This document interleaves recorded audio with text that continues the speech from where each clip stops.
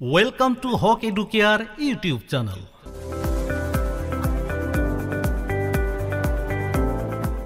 আজিৰ ভিডিঅ'ত লৈ আহিছোঁ mathematics class six lesson eight page number one hundred ছেভেণ্টিৰ question number five তো এয়া page number one hundred seventy এইটো পেজত ওপৰত আছে কুৱেশ্যন নাম্বাৰ থ্ৰী আৰু ফ'ৰ ইতিমধ্যে আমি ছল্ভ কৰিছোঁ।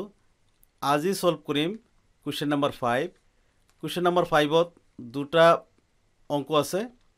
নাম্বাৰ ওৱান আৰু নাম্বাৰ টু কুৱেশ্যন নম্বৰ ফাইভত একচুৱেলি কি কৈছে? কুৱেশ্যন নম্বৰ ফাইভত কৈছে find the area of the coloured portions তো ইয়াতে আমি দেখিছোঁ দুটা চিত্ৰ আছে আৰু দুটা চিত্ৰতে দুটাকৈ পাৰ্টছ আছে বা দুটা অংশ আছে। এটা অংশ কালাৰ্ড আৰু আন এটা নন কালাৰ অৰ্থাৎ এটা ৰং কৰা অংশ আছে আন এটা ৰং নকৰা অংশ আছে। তো আমাক কৈছে কি find the area of the coloured portions যিখিনি ৰং কৰা আছে বা কালাৰ কৰা আছে সেইখিনিৰহে আমি কি উলিয়াব লাগে? এৰিয়া উলিয়াব লাগে বা ক্ষেত্ৰফল উলিয়াব লাগে। দুয়োটাৰে একে অকল কালাৰ্ড পৰ্চনখিনিৰ বা ৰং কৰা অংশখিনিৰ আমি কি উলিয়াব লাগিব? এৰিয়া উলিয়াব উলিয়াব লাগিব। তো আমি এটা এটাকৈ ছল্ভ কৰিম। তাৰ আগতে সৰু এটা অনুৰোধ জনাব বিচাৰিছোঁ। যদি ভিডিঅ'টো ভাল লাগে প্লিজ শেষত এটা লাইক কৰি দিব। লগতে চেনেলটো ছাবস্ক্ৰাইব কৰি ৰাখিব যাতে পৰৱৰ্তী ভিডিঅ'সমূহ আপোনালোকে পাই থাকে। তো আহক আৰম্ভ কৰিছোঁ। তো এয়া কুৱেশ্যন নম্বৰ ফাইভৰ ওৱান কুৱেশ্যন নম্বৰ ফাইভৰ ওৱানত কি কৈছে? এটা আয়তৰ ক্ষেত্ৰ অৰ্থাৎ ৰেক্টেংগেল দিয়া আছে ৰেক্টেংগেলটোৰ নাম হৈছে এ বি চি ডি ডাঙৰ যিটো ফিগাৰ আচল ফিগাৰটো হ'ল একচুৱেলি আমাৰ এটা ৰেক্টেংগেল যাৰ লেংথ দিয়া আছে এইটো ফৰ্টি চেণ্টিমিটাৰ আৰু ব্ৰেড দিয়া আছে থাৰ্টি চেণ্টিমিটাৰ তো এইটো হৈছে আমাৰ একচুৱেল ফিগাৰ ডাঙৰ ফিগাৰ এই ফিগাৰটোক দুটা অংশত ভাগ কৰা হৈছে। এটা এটা অংশত কালাৰ কৰা আছে আন এটা অংশত কালাৰ কৰা নাই। তো আমি কি কৰিব লাগিব? প্ৰথমতে সম্পূৰ্ণ যিটো ৰেক্টেংগেল বা আয়তক্ষেত্ৰ আছে সেই ৰেক্টেংগেলৰ আমি এৰিয়া উলিয়াব লাগিব। তাৰপিছত আমি ৰং কৰা এৰিয়াৰ যদি ৰং কৰা অংশৰ যদি আমি এৰিয়া উলিয়াব বিচাৰোঁ তেতিয়াহ'লে ৰং নকৰাখিনিৰো আকৌ আমি এৰিয়া উলিয়াই পেলাই সেই ৰং নকৰা এৰিয়াখিনি আমি মাইনাছ কৰি দিলে ৰং কৰাৰ অংশখিনি আমাৰ ওলাই পৰিব। কাৰণ ৰং কৰা অংশটো এনেকুৱা ধৰণৰ এটা ক্ৰিটিকেল ধৰণৰ ডায়েগ্ৰাম বা ফিগাৰ এটা হৈ গৈছে যাৰ কোনো ফৰ্মুলা নাই। তো প্ৰথম কথা হ'ল আয়তক্ষেত্ৰ বা ৰেক্টেংগেলৰ এৰিয়া উলিওৱা ফৰ্মুলা আছে। লগতে ৰং নকৰা যিখিনি অংশ আছে সেইখিনি এটা ট্ৰাইংগেল বা ত্ৰিভুজ। আৰু ত্ৰিভুজ ভুজৰো আমাৰ এৰিয়া উলিয়াব পৰা ফৰ্মুলা আছে। গতিকে এই ৰেক্টেংগেলৰ বা আয়তক্ষেত্ৰৰ এৰিয়া উলিয়াই পেলাই আকৌ ত্ৰিভুজ বা ট্ৰাইংগেলৰ এৰিয়া উলিয়াই ডাঙৰ যিটো আছে ৰেক্টেংগেলৰ এৰিয়াৰ পৰা এই ট্ৰাইংগেলৰ এৰিয়াখিনি মাইনাছ কৰি দিলে যিখিনি কালাৰ কৰা অংশ আছে আমি সেইখিনিৰ এৰিয়া পাই যাম। তো আহক ছল্ভ কৰিছোঁ। তো প্ৰথমতে আমি লিখিম ৰেক্টেংগেল এটা ৰেক্টেংগেলৰ কথা যিহেতুকে আছে ৰেক্টেংগেলটোৰ নাম কি? Rectangle A B C D A B C D rectangle A B C ডিত আমাৰ দিয়া আছে length equal L E length equal কিমান দি আছে? এইটো, তলত। ফৰ্টি চেণ্টিমিটাৰ আৰু ব্ৰেডটো দিয়া আছে কিমান? এইটো। একচুৱেলি ৰেক্টেংগেলৰ কি হয়? অপজিট ছাইডবোৰ যিহেতুকে সমান হয়, গতিকে এইটো চি বি আৰু ডি এ সমান। দুয়োটাই একে মেজাৰমেণ্টৰ হ'ব থাৰ্টি চেণ্টিমিটাৰ তো এতিয়া আমি এৰিয়াটো উলিয়াম এই ৰেক্টেংগেলৰ therefore for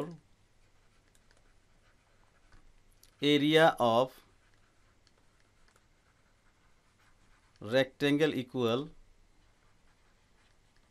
length into breadth তো area of rectangle equal length into breadth তো আমি পালোঁ লেংথটো কিমান আছে? ফৰ্টি চেণ্টি চেণ্টিমিটাৰটো এতিয়া নিলিখোঁ। দুটা চেণ্টিমিটাৰ একেলগে আমি স্কুৱেৰ চেণ্টিমিটাৰ লিখিব পাৰোঁ। ব্ৰেডৰ ভেলুটো কিমান আছে? থাৰ্টি আমি থাৰ্টি লিখিলোঁ। এতিয়া দুটাতে আমাৰ চেণ্টিমিটাৰ চেণ্টিমিটাৰ আছিল মাল্টিপ্লাই কৰিলে স্কুৱেৰ চেণ্টিমিটাৰ হৈ যায়।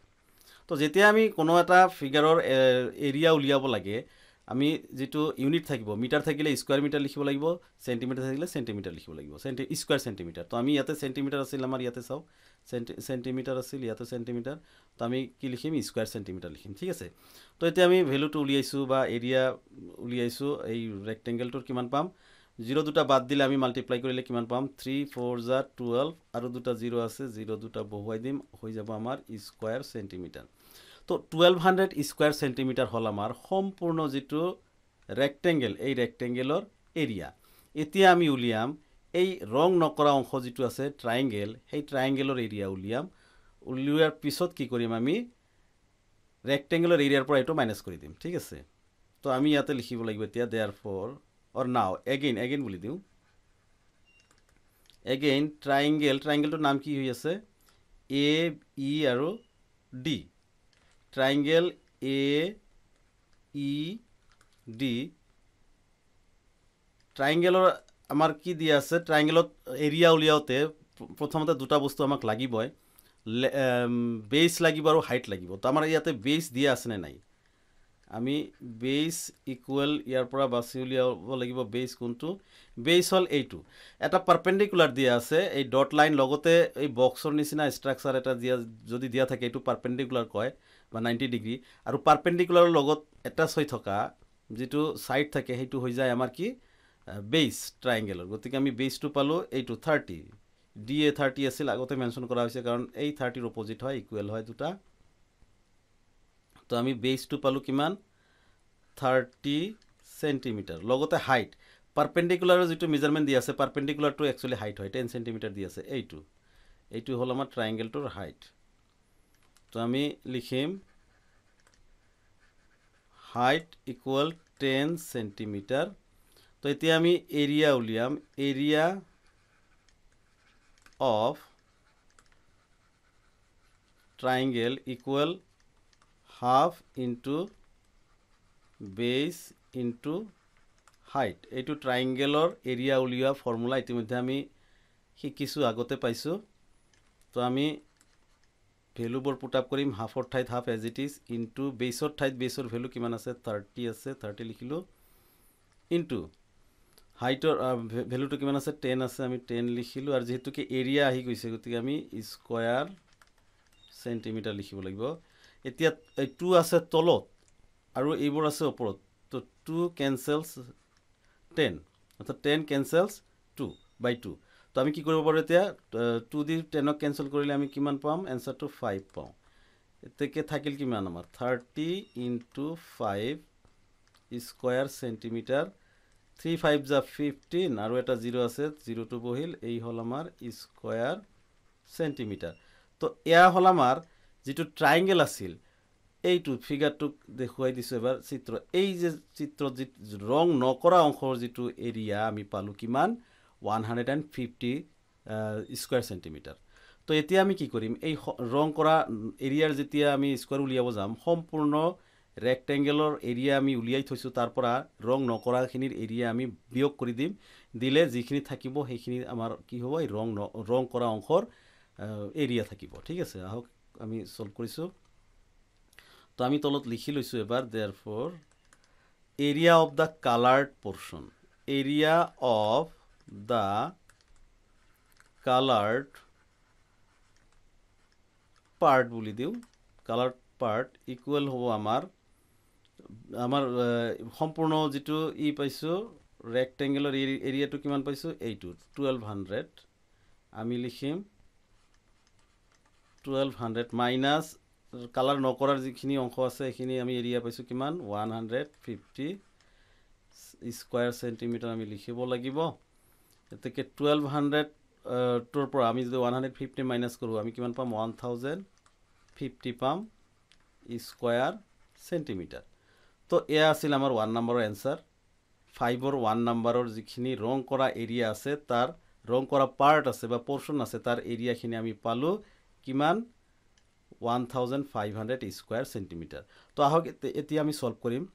নাম্বাৰ টু ফাইভৰ টু ইয়াৰ ফাইভৰ টু ফাইভৰ টু ফিগাৰটো চাই লওক। নাম্বাৰ টুত এ বি চি ডি এটা স্কুৱাৰ দিয়া আছে বা বৰ্গক্ষেত্ৰ দিয়া আছে। ইয়াৰ মাজত এটা ট্ৰাইংগেল ড্ৰ কৰা আছে। আৰু এইটো ট্ৰাইংগেলৰ বেছটো কিন্তু দিয়া আছে কিমান? টেন চেণ্টিমিটাৰ আৰু এই ট্ৰাইংগেলটোৰে আমাৰ কালাৰ কৰা আছে। এই কালাৰ পাৰ্ট অৰ্থাৎ ট্ৰাইংগেলটোৰে আমাৰ কি লাগে? এৰিয়া উলিয়াব লাগে। কাৰণ ট্ৰাইংগেলখিনি আমাৰ কি কৰা আছে? কালাৰ কৰা আছে। তো ইয়াতে আমি মাইনাছ টেনেছ হয়তো একো কৰিব নালাগে একেবাৰে আমি এনচাৰটো পাই যাম। কাৰণ যিটো ট্ৰাইংগেলক আমাৰ ইয়াতে এৰিয়া উলিয়াব লাগে সেই ট্ৰাইংগেলৰ বেইছৰ ভেলু দিয়া আছে আৰু হাইটটো দিয়া আছে আমাৰ টেন চেণ্টিমিটাৰ কাৰণ ট্ৰাইংগেলৰ লগত এডজাষ্টেণ্ট যদি আমাৰ কোনো ষ্ট্ৰেইট লাইন থাকে এইটো যিহেতুকে স্কুৱাৰ গতিকে ই এটা ষ্ট্ৰেইট লাইন আছে আৰু নাইণ্টি ডিগ্ৰী আছে তেনেহ'লে আমি এইটো হাইটে পাওঁ। ঠিক আছে? তেনেহ'লে আমি আৰু কষ্ট কৰিব নালাগে বেছি ডাইৰেক্ট আমি এইটো ট্ৰাইংগেলৰ পৰাই লওঁ। ট্ৰাইংগেল আমি বুলি লিখিম। ট্ৰাইংগেল ট্ৰাইংগেলটোৰ নাম কি আছে? এ বি ই নামৰ এটা ট্ৰাইংগেল ফৰ্ম হৈছে ইয়াতে। Triangle A B E given আমি গিভেন বুলি দিব পাৰোঁ। গিভেন বেইছ এইটো ট্ৰাইংগেলৰ বেইছটো কিমান দি আছে? তো বেইছ তলতটো নিশ্চয় বেইজ বেইছ মানে পাৰপেণ্ডিকুলাৰ য'ত থাকে এইটো পাৰপেণ্ডিকুলাৰ তাৰ তলত যিটো এটাচ হৈ থাকে সেইটোৱে আমাৰ বেইছ বেইছ আছে আমাৰ টেন চেণ্টিমিটাৰ আৰু হাইট আছে আমাৰ এইটো টেন চেণ্টিমিটাৰে হাইট ইকুৱেল টেন চেণ্টিমিটাৰ তো আমাক কি উলিয়াব লাগে এৰিয়া উলিয়াব লাগে therefore area of the triangle area of the triangle equal half into base into height তো আমি কি কৰিম? হাফৰ ঠাইত হাফ এজ ইট ইজ লিখিম। ইনটু বেইছৰ ঠাইত বেইছৰ ভেলুটো আমি ইয়াতে লিখিছোঁ টেন ইনটু হাইটৰ ঠাইত হাইটৰ ভেলু ছেইম পাইছোঁ এজ ইট ইজ টেন আৰু আমি যিহেতুকে এৰিয়া উলিয়াই আছোঁ স্কুৱাৰ চেণ্টিমিটাৰ তো এতিয়া আমি এইটো কেঞ্চেলছ টেন চৰি কিমান পাম আমি? টু দি টেনক কেঞ্চেল কৰিলে ফাইভ পাম। এতিয়া তলত একো নাই ওপৰত থাকিল কিমান? Five into ten square centimetre আৰু এতিয়া আমি যদি কেলকুলেট কৰোঁ ফাইভ টেন যা কিমান পাম? ফিফটি পাম। ফিফটি স্কুৱাৰ চেণ্টিমিটাৰ তো এয়া আছিল আমাৰ টু নাম্বাৰৰ এনচাৰ তো এইখিনিতে আমি কুৱেশ্যন নাম্বাৰ ফাইভ ফাইভৰ ওৱান আৰু টু দুটা প্ৰব্লেমে ছল্ভ কৰিলোঁ। তো আজিৰ ভিডিঅ'ত ইমানেই। আকৌ লগ পাম নেক্সট ভিডিঅ'ত। তেতিয়ালৈকে ধন্যবাদ।